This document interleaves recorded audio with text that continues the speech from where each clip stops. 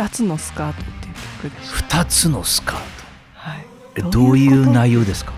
高校生の時うにん好きになった女の子のことをえ書いた曲だったんですけど。DJ Pokey. Talk Town. さあそれではお送りしましょう DJ ポッキーのトークジャムさあ今回は誰が来るのか。僕は全く知りませんけどもね。じゃあ呼んでみましょう。ゲストの方入場です。どうぞ。ああこんにちは。よろしくお願いいたします。目がくるっとし ありがとうございます。もう黒がお似合いではい、真っ黒です。髪も黒はい洋服も黒というこ黒とで、全部黒。よかった、はい僕もちょっと黒がありまして。あはい。じゃあペアルックで。ありがとうございます。ペアルックでお送りします。はい。じゃあ自己紹介お願いします。どうぞ。はい、えーシンガーソングライターの吉村沙織です。ほう、シンガーソングライタお願いー。します。吉村沙織と言います。沙織さんなんですね。よろしくお願いいたします。お願いします。まあ、シンガーソングライター、いろんなジャンルがございますけども、はいどのジャンルですか？ポップスですね。ジャパニーズポップス。あポップスの。はい。そうなんですね。え、活動はどこをメインにされてるんですか？鹿児島がメインなんですけど、ええ前一度あのエミリーさんとはいはい。鳥渕アンナさんとはい。一緒にあのラジオ出させていただいたことがあってえ？そう FM でもしかして、エミリーとユニット組んでました？ああの顔が似てる別のシンガーの方なんですけどそれは。はい。でもエミリーさんとはずっと、あのブライダルのがお仕事が一緒だったりとかして、仲良くさせてもらってます。そうですか、はい。すいません。よろしくお願いします。お願いします。はい、あの時私あの自我があんまりまだなかったので お話もちゃんとできてないんですけど。はへーでも僕のラジオ番組のゲストで来られる方はやはりちょっと鹿児島で大活躍のアーティストですから、い。え。ね、いつから活動を始められたんですか、ーえーと私がちょっと遅くって、ええ。あの出身が熊本なんですけど。熊本。はい。はい。で大学でこっちに移り住んで、ええ。ー大学も卒業してからあの12年ぐらい経った頃なのえで、はい。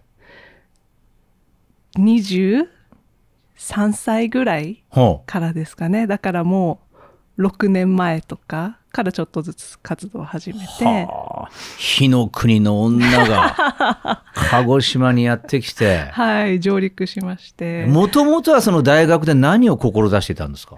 えっとずっとオペラとかそういうあの声楽の勉強をしてまして。あじゃあずっと音楽には携わっていらっしゃったそうとなんです。いうことなんですね。はい。オペラ？オペラですか？みたいな。はいじゃあ声量かなりありますよいね。やそれがちょっと信じられないぐらい喋り声とかもちっちゃくてびっくりされるんですけどあそのギャップがあるわけですね。ちょっとねあっていいのかどうかわからないギャップがはいうわーちょっと聞いてみたいけど、まあ、この雰囲気ではされないですよね。大丈夫です。はい無茶ぶりなしのポッキーですから。ありがとうございます好きなことはレディーファーストですから。はい、大丈夫です。それで、はいえ、で、ポップスやろうと思ったのは何がきっかけだったんですか？あのー曲ずっと作りたいなっていうのは中高生の頃からあったんですよ。ええええでもうなかなか機会もなくって作り方も分かんなくてっていう時に、あの三田さんおお三田さんピアニストの。そうそうなんです、はいはいはい。でお仕事ではい。あの、ご一緒する機会があってえなんかちょっと怪しい人みたいなんですけど「君いい声してるね」みたいな感じで。声をかけてもらって、えでそこからあの三田さんと一緒に曲を作ったりとか、え。へえ、っていや実はました。はい、僕も三田さんに CD 作ってもらったんですよ。そうなんですか。FM 鹿児島の,、はい。あの「フィール・ザ・ミュージック・ダー」っていう番組を昔やってて、はい、アミュースタジオとかで僕番組を毎日やってたんですけども、でアシスタントが4人いたんですよ。はい。その4人の中にあ、恵子さんとかも。そう辻恵子とかあと浜崎美穂って今、うんうんうん。東京 FM で大活躍の、うんうんうん。この子が歌が超うまくて。で三田さんがまあその美穂を知っていて、うんうん。っていうか番組でさ CD やろうよって CD 出そうよって楽曲作ろうよっていううんうん。ことになっちゃって、プレシャスメモリーっていうあ楽曲を。あるでしょ？でした4人がボーカルで、アシスタントボーカルで僕うんうんラッパーだったんですよ。僕があなたに言いたいことは絶対一人で生きてないってやってたんですよ。最高。それ CD になったんですよ。ドラムがグレーのあのサポートドラムの永井俊さんなんですよ。ええ。無料でやってくれたんですよ。すごいですね。そんな情報知らなかったで、カラオケにもなったんですよ。ええ。三田さんすごいですよね、プロデューサーとしても。そうなんです。それでずっとあの最初の頃からお世話になって。今も？今はちょっと離れてるんですけど 離れちゃった。そうでも仲良しで、ああ、そうそうはい、お世話にはなってます。へーで、そのシンガーソングライター、一番初めにできた楽曲は何ていう楽曲だったんですか？えっと「二つのスカート」っていう曲でした。二つのスカート。はい。えどういう内容ですすかなんか私が、はい。あのバイセクシャルもはい。公表しながらはあ。の活動してるんですけどそうなんですね。ええであの高校生の時にうん。好きになった女の子のことをええ。書いた曲だったんですけど、へえ。ということはもうあれですね、作詞が先ですね、視線ですね。なんでわかったんですか？え今の話聞いて分かりました。まずは歌詞があって、それにメロディーをつけていくんでしょ？そうなんですえ、メロディーははい楽器は何でつけていくんですか、えっとピアノでいつも作ってますピアノで。はい。うわ、そうですか。その歌聞きたいですね。じゃあ聞いていただきましょう。どうぞ。あ今なかったですね。なかったですか？どうぞ。あすみません。えーあのぜひ聞いてみてください。どうやって聴けるんですか？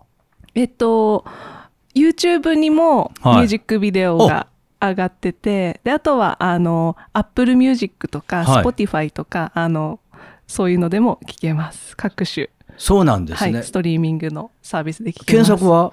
えっとひらがなで吉村沙織というふうあに、もう本名で言ってるんですね。あはい。吉村沙沙織ではい。検索をして、今の楽曲ぜひね、見て聴いてもらいたいとはい、ぜひお思います、ね願いします。え、CD リリースは配信だけ？えっと CD も出てます。3枚出てて、あ、それはじゃあはい。CD 店でゲットできると。鹿児島だと、はい。そうですかあと、あの、ホームページの方からも見れるので、なるほどはい、ね。ぜひお願いします。え、3枚っていうのは、アルバムは？アルバムが、えっ、と、最初の2枚で、シングルが去年出したのが、え、えアルバムのタイトルは1枚目が、が、あの、2つのスカートっていう。2つのスカート。はい。はいそして2枚目が、2枚目が、パレットっていう曲。パレット。はい。そしてシングルは、は、えっ、と、帰らないという、カタカナで帰らないまた気になるわ。このタイトル。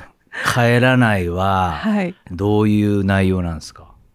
あ、なんか、うん。こう、ふるさとのことを思いながらも、ええ。なんかこう、まあ、過去をそんなにこうしんみり振り返帰らないとかあの地元にも、まあ、帰らないみたいなこう決意をしたりとか、うーん。そういう。思いを込めて作りました。それいつできたんですか？これがあの CM に使ってもらう曲ということでええええ。えーっと2018年の終わりぐらいに、うんうん。から作り始めあ違うか。2000そうだな。2010違う。いいんですよ。思い出してください。記憶をたどっていくはとい、しっかり思い出して、はい。あの2019年のほ終わりぐらいに書いて、ええ。CD になったのが2020年になってからっていう。あ、そうなんですね。で、今年は？リ今リースは年は？あの去年から引き続いてなんですけど、はい。毎月1曲配信リリース新曲の配信リリースっていうのをいつから？えーっと去年のほ2月からかな。3、うん、2月ぐらいからずっうと、毎月？はい。じゃあかなりたくさん楽曲ありますね。そうですね。ひいひい言いながら作ってます。言いながら。え、それって、はい。えー YouTube? YouTube はい。あと、あとえーっと本当にいろいろですね、あの iTunes にもでもダウンロードできて、はいはい。Apple Music、えー Spotify、アワとかにもありますしももうとにかくこう全部出てるんですけど。すごい便利な世の中ですよね。はい。もう配信。皆さんぜひダウンロードしてください。お願いします。ねえ、ちゃんと収入ありますか？ねなんかし、ね、心配してくださってありがとうございます。ねえ。はい、でもなんかその、曲を作ることでスポンサーの方にいろいろ応援してもらったりとかして、ありがたいですねこの大変な時になるほど。コマーシャルとかね起用されるとねそうなんですよね大きいですよね。ありがたいこと。にでもライブがそんなできないんじゃないですか今。そうなんですよライブ活動が全然できてなくって、うんでそれもあって CD っていう形をやめて配信にしようかなと思ったんですけど、はあライブも配信で。あライブもそうですね配信であったりとか。ちょこちょこやってますはい、ねえ本当に。でもね、はい。止まらずに、うん。本当にコロナ禍対策をしっかりして活動してるアーティストも結構いますよ。そうですねんなんかこう宮井紀之さんとかかはらもう結構なんかメッセージがすごいうん熱いメッセージが届いたりとかして、まあ私も頑張らないとなと思いながらい。あの男熱いね。そうなんですよね熱いし、あの有言実行。はい言ったことを必ず形にしてるもんね。そうですね。足を止めない男っていう感じで。止まらないっすよ、ね。止まらないですね。そうなんです。もう立ち止まり気味なので私うん。がだから僕もいろんなアーティストつながってますけどもやっぱなんで止まらないのっつったら、やっぱりそのね確かにマイナスなことが多いと。うん。だけど止まっちゃうと次本当に始まった時に、うん。ちゃんとした景色が見えないって。うんこういう状況の中でライブを続ける景色を知っていればうん。次当たり前のまたね昔の日常戻った時のライブがすごい違った景色でやれるっつって。確かにそうですうね、ん、だからもう本当にその、お金もないから、うん。協力してくれる仲間だけでやってるんですよっつって、うんうん。全国ツアーやってる人いるんですよ。えー、すごい。いろんなアーティストメジャーなアーティストですよ。はい。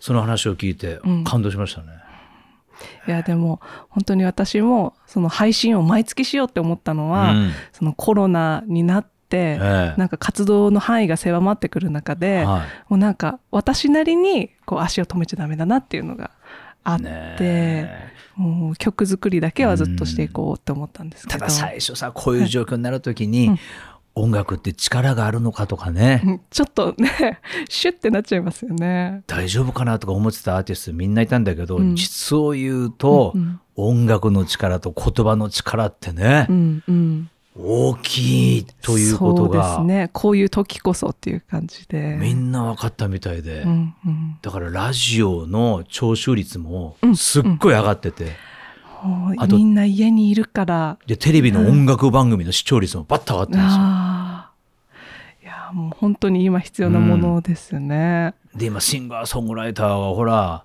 あいみょんのしてあいみょんにしても、はい。まあ、いろんなアーティストすごい売れてるじゃないですか、うんうん、求められてますよ。シンガーソングライター、求められてたらいいんですけどちょっとね細々頑張っていこうかな。でメジャー契約しなくても、うん。ガッと売れるね。うん、そうですよね。あのエイトみたいにうんうんうん。ねね夜遊びとか、ね。そうそうそう夜遊びとか、ねもうプロモーションしなくてもね、うんうん。いろんな人がこう広げてくれるので、いつ何が起こるかわからないっていう。はいだからやっぱりリリースし続けるというのは、うんうんうんブレイクのきっかけですよね。そうですね。だからそれだけはちょっとやめないでやっていこうというふうに思ってます。どんな工夫してるんですか YouTube とかは？ええ映像もついてるんですか？いやあの映像はついてなくて、うんまあ YouTube っていうよりも、うんその他の配信の音楽の配信がメインなんですけど、えその Spotify の公式のプレイリストみたいなのがあって、えはいはい。であのそれに何回か選ばれたりとかしてはあ、それは実力があるということだ。いやいやそんな認めないですよ、Spotify は。なかなか、ん そうではなかなか見ないえそうですかね。いやでもそのメジャーなアーティストとかもいっぱいいるプレイリストの中に、ポンって自分が入ってるのを見てえ才能です。いやーもう頑張ろうと思って、ねえちょっとこれを続けてみようと思ってあんまりこの世界は謙虚にならない方がいいですよ。あ本当ですか？もう私の音楽聴いてくださいみたいな。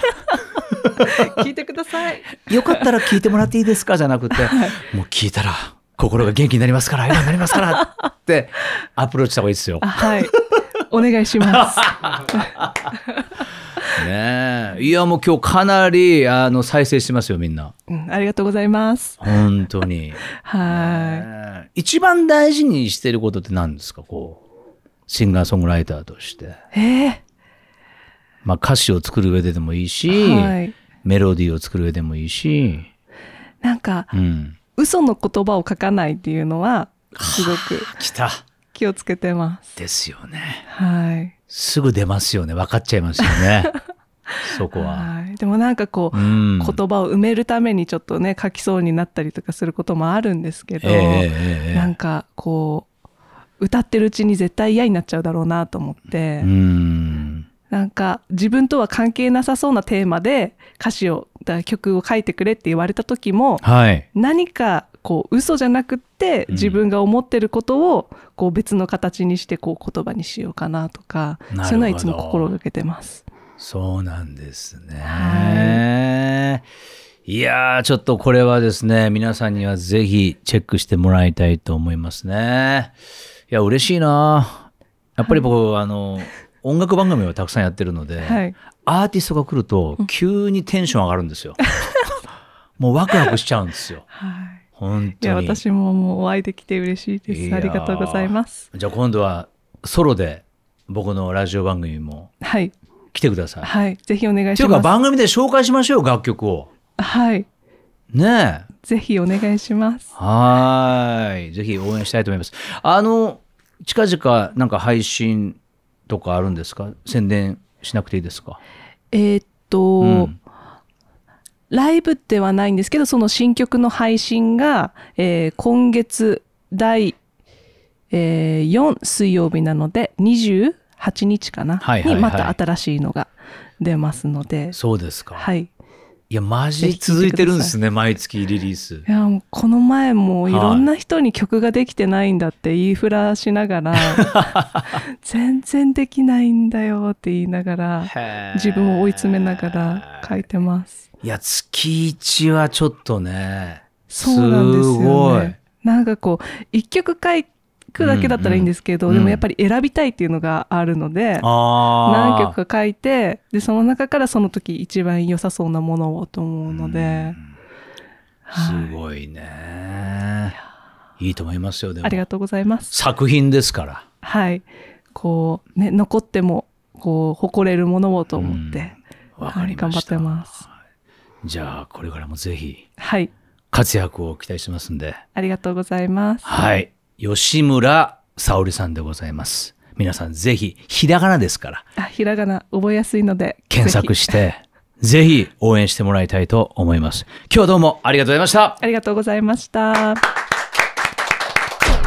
DJ Pokey. Talk Joe. DJ ポッキーズトークジャム今回もご覧いただき本当にありがとうございます行き当たりバッチリだったでしょうかよかったらぜひねこの番組のチャンネル登録お願いいたします。毎週更新しています。そしていいねクリックもお願いしますね。さあ次回は誰が来るのかどうぞお楽しみに。